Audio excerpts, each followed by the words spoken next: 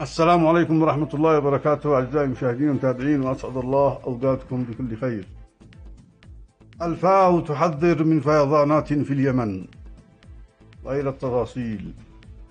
حذرت منظمة الأمم المتحدة للأغذية والزراعة الفاو من أمطار غزيرة مصحوبة بفيضانات شديدة على المرتفعات الواقعة في مناطق وسط اليمن خلال الأسبوع المقبل.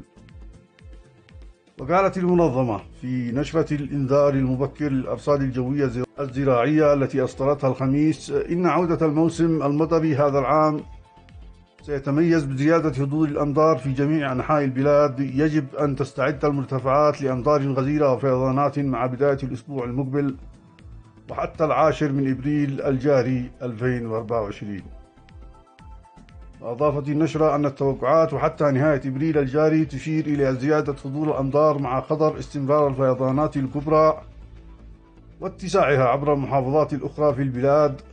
ومن المرجح أن تؤدي هذه الزيادة مقارنة بالأشهر السابقة إلى حدوث فيضانات متفرقة في المناطق الأكثر عرضة للخطر والتي تقع عند سفح المنحدرات الشديدة وعلى طول الأودية الرئيسية مثل رماح وزبيد ومور وبناء.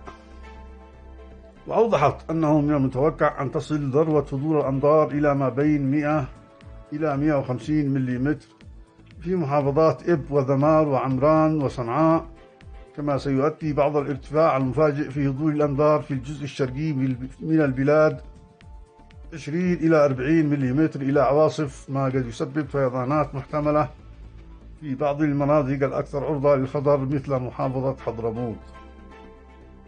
ودعت الفاو إلى تنفيذ خطط الطوارئ وتجنب التعرض للخطر حيث أن الطقس العاصف سيزيد من المخاطر الجسيمة على الأرواح وتعضيل سبل العيش الزراعية والقطاعات الأخرى مثل الصحة والمياه والصرف الصحي والوصول والاتصالات كما قد تتأثر المزارع والتربة بشدة بمياه الفيضانات. أشكركم على حسن المتابعة والإصغاء.